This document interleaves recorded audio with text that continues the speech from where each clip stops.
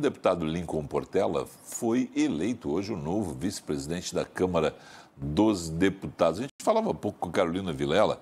É uma eleição interessante porque ela marca ali um posicionamento da bancada evangélica, Cláudio, que faz parte da base do governo Bolsonaro contra candidatos como Flávia Arruda, que queria também esse cargo, que foi ministra de Bolsonaro até bem pouco tempo. Mas Lincoln saiu vencedor desse embate. Cláudio, boa noite. Muito boa noite, Felipe. Você eh, notou bem, registrou bem Trata-se disso, né? A vice, a primeira vice-presidência da Câmara dos Deputados pertence é, por uma questão de divisão partidária, etc., proporcional ao tamanho das respectivas bancadas, pertence ao PL de Jair Bolsonaro. É por essa razão que cinco deputados do PL disputaram esse cargo. É um cargo que não tem lá muita relevância, mas é, é ali, é o substituto, afinal de contas, eventual do presidente da casa.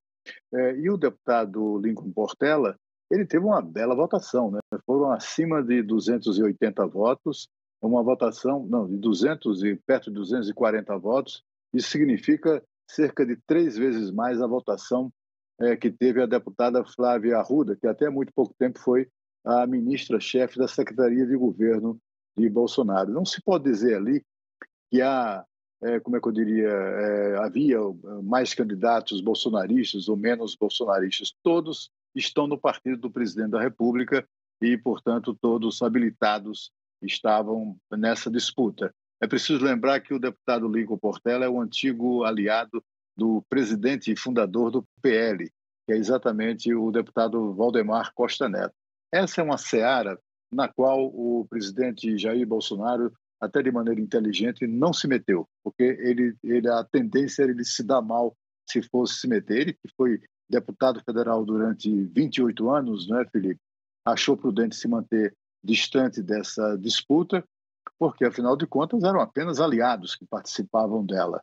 A primeira vice-presidência será entregue, ou está entregue agora, a um deputado mais respeitado do que o anterior entre os seus próprios colegas, não só pelos seguidos, múltiplos mandatos que já exerceu, como também por uma, uma liderança natural do deputado Lincoln Portela em relação ao, eh, junto aos seus colegas. Né? É, portanto, uma, uma, uma eleição que deverá, inclusive, é, acalmar ou levar paz à mesa diretora da Câmara dos Deputados.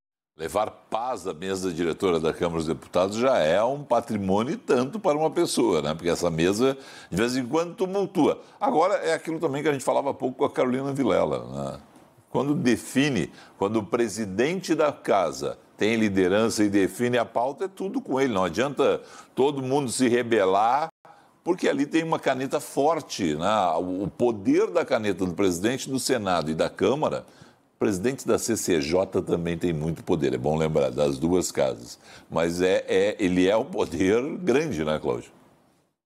É, ele, o deputado Arthur Lira, ele tem muita liderança, ele exerce mesmo essa liderança e toda a autoridade que o cargo lhe confere. Você vê que são estilos muito diferentes, né? O presidente da Câmara do presidente do Senado. O presidente do Senado tem uma imensa dificuldade, uma enorme dificuldade de tomar decisões, de fazê-las cumprir e exercer liderança, não é?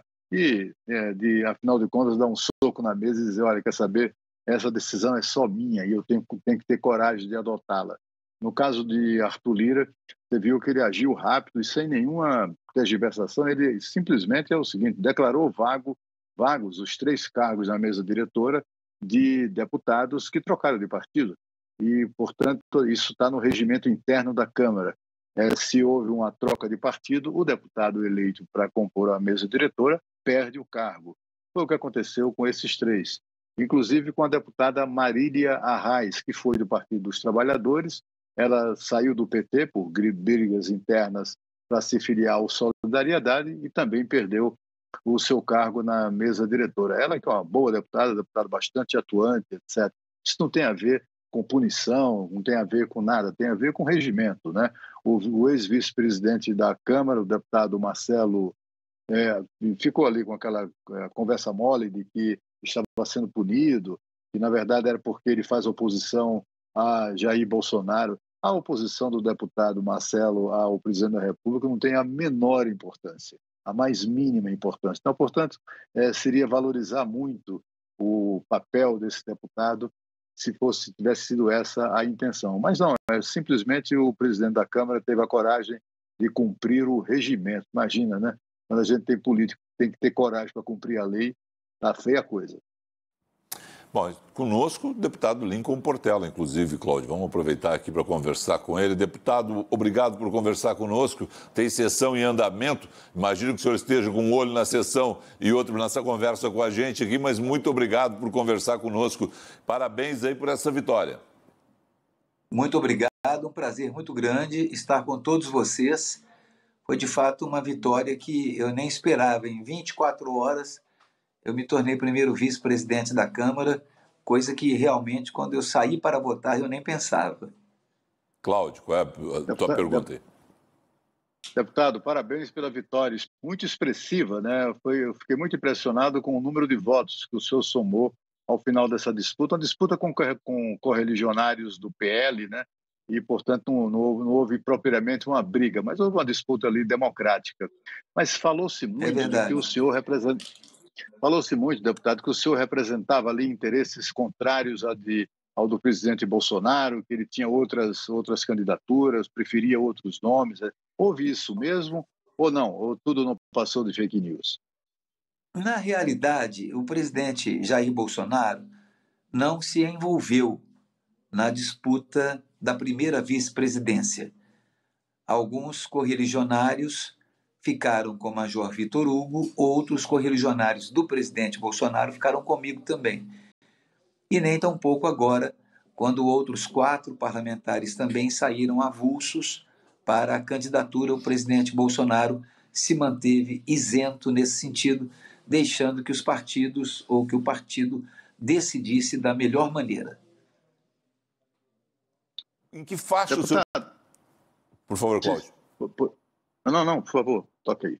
Não, eu, só, eu só ia perguntar que faixa o senhor pretende atuar dentro da mesa, né? Porque a gente falava há pouco, o poder do presidente é muito grande. Claro, o vice-presidente, o primeiro vice-presidente, substitui Arthur Lira, mas o, o, além dessa substituição, tem alguma faixa que o senhor pretenda trabalhar aí? Não, na realidade, como primeiro vice-presidente, é, eu, não, eu nunca me esqueço de José Alencar, foi vice-presidente da República num dos governos passados, do nosso partido, ele dizia o seguinte: o vice tem o poder de dizer sim, senhor. O vice tem o poder de ficar debaixo da orientação do presidente da casa. Então, vamos ouvir, vamos conversar, estar prontos para é, administrar alguma coisa que for necessária, vamos estar prontos para dirigir, caso ele queira, as sessões do Congresso. Geralmente, o primeiro vice-presidente costuma fazer isso. Às vezes, algumas visitas institucionais, receber institucionalmente alguns grupos importantes da magistratura, grupos eh, do trabalho, da área da economia, trabalhadores, trabalhadoras. Então, nós estaríamos abertos dentro daquilo que o presidente coordenar. Eu quero andar bem afinado com o deputado Arthur Lira, que já é meu colega de trabalho aqui já há muitos anos na Câmara. Cláudio. Deputado, eu ouvi de deputados assim a, como é que eu diria, uma reação aliviada com a sua eleição, é, por considerar que o senhor, é, com a sua experiência e liderança inquestionáveis, né, é, o senhor levará paz a uma a, mesa diretora da Câmara, porque de vez em quando ali havia alguma conturbação, sobretudo em razão do papel exercido pelo seu antecessor. O senhor acredita nisso? A mesa diretora precisa de paz mesmo ou está tá tudo pacificado? Não, na realidade, é, eu não vejo a mesa diretora dessa maneira. Às vezes, um debate mais acalorado no meio político costuma acontecer, mas é um debate sempre no campo das ideias. Agora, eu fui presidente da Comissão de Legislação Participativa aqui na Câmara dos Deputados, fui líder há alguns anos e sei como também no momento mais difícil saber buscar entendimento, buscar consenso. Eu me lembro de La Fontaine que dizia que paciência e tempo dão mais resultado do que força e raiva. Entendo também que o processo da naturalidade diga-se passagem, a palavra processo na área do direito, uma das dos seus significados é ir adiante, processar. Então vamos procurar processar a naturalidade das coisas através de um convívio, através de ouvir bem. Eu penso que líderes da casa devem procurar ouvir bastante o sentimento da casa. Então, se Deus quiser, eu estarei lá para ouvir os sentimentos dos mais diversos possíveis. Os sentimentos da esquerda, os sentimentos da direita, os sentimentos do centro, porque apesar de eu ser da linha, da base do governo, eu sou um parlamentar que agora é eleito para poder estar conversando, dialogando e trazendo entendimento com todos os pares, sejam eles de esquerda, de direita ou de centro.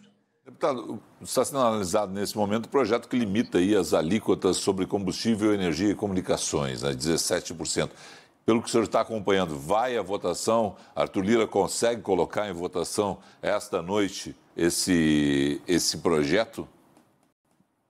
Segundo o que ele me disse, ao sair da mesa, eu estive na mesa, ele se levantou para que eu presidisse um pouco.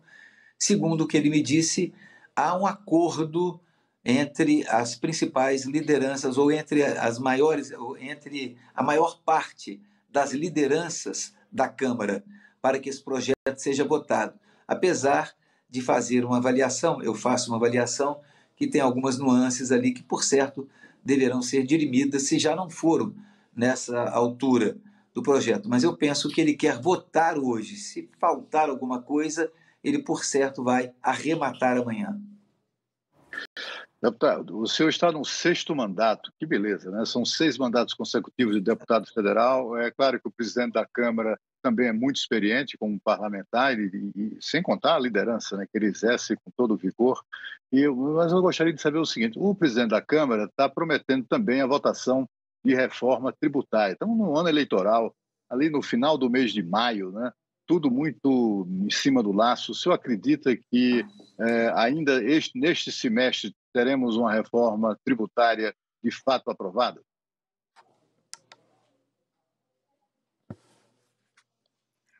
Acho que perdeu. O senhor nos ouve, deputado? Eu acho que o deputado perdeu, a gente perdeu o contato, Cláudio. Vamos, vamos ele estava ali ajustando alguma coisa, aquelas coisas, Cláudio, em quando a gente bate algum botão ali do, do computador e fecha os canais. TV né? ao vivo. TV ao vivo tem essas coisas é, também, né? Exatamente isso. Vamos ver se a gente ajusta ali, né, exatamente para perguntar a respeito dessa questão da, da reforma tributária. Agora, pela maneira como ele fala, é pacificação da mesa mesmo, né? Aquilo que você estava comentando, né? Pela fala dele, pela maneira que ele se expressa, lembrando na né, José Alencar, né? Então... É, é, é um, é um político mineiro, assim, na essência, né? No, no que há de muito positivo da política mineira, e isso é bom também. Ele é pastor evangélico, é líder evangélico, tem a fala fácil, né? E muito, muito bem construída, tem uma boa relação com os deputados. Tenho a impressão que é o papel a ser desempenhado pelo deputado Lincoln Portela na, na primeira vice-presidência da Câmara será mesmo muito positivo. E disposto a conversar com todo mundo, né? Deixou claro que é da base governista, mas vai conversar com todo mundo. Não tem por que ser diferente mesmo, né? mas, mas deixou claro isso, né? É, isso faz parte, inclusive, da história dele, né? Ele tem uma história mesmo de boa convivência com todo mundo, fala com todas as pessoas sem a menor dificuldade e tem, portanto, assim uma certa autoridade do, digamos, de um irmão mais velho, né? Seis mandatos de deputado federal é muita coisa, né? Não é brincadeira não. Eu fico, fico muito impressionado quando quando eu converso com parlamentares longevos assim, porque eles são então dão demonstrações reiteradas, não só de, de paciência, né, que é necessário para o exercício dessa profissão tão difícil de, da política, mas também muita competência em renovar cada um dos seus mandatos. Bom, a gente não, não conseguiu restabelecer o contato e ele está lá também na Câmara com esse projeto em votação. Tem que ficar de um olho também, olho, porque ele já substituiu uma vez Arthur Lira na mesa, claro, ali como uma homenagem na eleição, né, mas pode a qualquer momento ter que novamente, em função das negociações que são comuns em noites como essa, né, Cláudio, tem que assumir a mesa de novo. Na tua avaliação, vai à votação o projeto hoje, Arthur Lira, por, por tudo que a gente estava vendo ali na sessão da Câmara, vai colocar em votação. Pelo ah, jeito, está tudo acordado. Ah, Eu tenho certeza que vai. Se ele tomou essa decisão, ele tem liderança mesmo na Câmara, ele vai colocar isso, isso de fato em votação. Eu queria trazer rapidamente, Felipe, o destaque muito negativo é, é, da justiça do nosso país, com decisões adotadas em dois estados, um no seu, outro no meu. Ou seja, primeiro vamos lá é, pelo penduricalho que foi criado pelo Tribunal de Justiça é, do Rio Grande do Sul, acrescentando até 10 mil reais de gratificação ou bonificação aos magistrados gaúchos, a 80% dos magistrados gaúchos, a título, sabe de quê? De acúmulo de trabalho. Ó, Felipe, Felipe Vieira merece muito mais do que isso, muito mais do que eles, né? Receber uma coisa como essa, cada um de nós, enfim, o acúmulo de trabalho é próprio do exercício da, da, de qualquer função, né? De qualquer função importante, inclusive na magistratura. É mais uma forma, mais uma, mais uma iniciativa que a gente vê lamentável é, do, do setor público avançando no nosso bolso para garantir privilégios e regalias para eles próprios. Com detalhe, né, Felipe, que gratificação, bonificação não é salário. Eles malandramente fazem essa interpretação para não sofrer aquele, a história do abate-teto, porque, afinal de contas, essa gente já recebe ali no teto salarial. Isso não passou pela Assembleia Legislativa do Rio Grande do Sul, né? Não teve ali, não Exatamente. Teve, não teve votação, o que está causando ali uma grande repercussão em termos de Rio Grande do Sul. conversava hoje com o deputado Fábio Osterman, tá, está indignado e vendo o que pode ser feito nessa questão né, do, desse penduricalho aí por acúmulo de trabalho. Mas às vezes passa pela Assembleia Legislativa e constitui algo igualmente, igualmente é, condenável. Foi o que aconteceu no meu estado, em Alagoas. É? A Assembleia Legislativa aprovou uma pretensão, uma, um pleito, digamos assim, da, da Justiça do Estado, simplesmente criando uma licença-prêmio de 60 dias para suas excelências, que podem exercê-lo, podem exercer essa licença-prêmio ou receber ó, em dinheiro vivo. É disso que se trata uma decisão da Assembleia Legislativa lá de Alagoas. Os 60 dias de licença prêmio, sem contar os 60 dias de férias anuais. É bom lembrar disso também, né? São dessas decisões do setor público que nos envergonham e, na verdade, não, faz, não fazem jus ao respeito e à justiça do nosso país tanto merece. Cláudio, obrigado a você. Uma excelente noite. Para você também. Boa noite.